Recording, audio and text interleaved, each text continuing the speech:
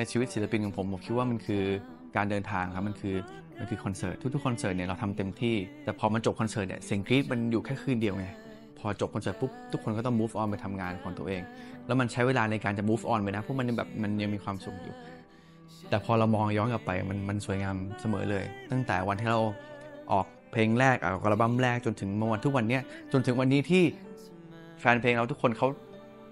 มีครอบครัวมีลูกกันหมดแล้วจากคอนเสิร์ตเขาอาจคงจะไม่ได้ต้องอุ้มลูกมาดู อาจจะไม่ว่างมาดูแล้ว แต่ทุกอย่างที่มันเกิดขึ้นมันคือเส้นทางในการเดินทางของศิลปินเรา แล้วผมคิดว่ามันสวยงามเสมอยังอยู่ในหัวใจ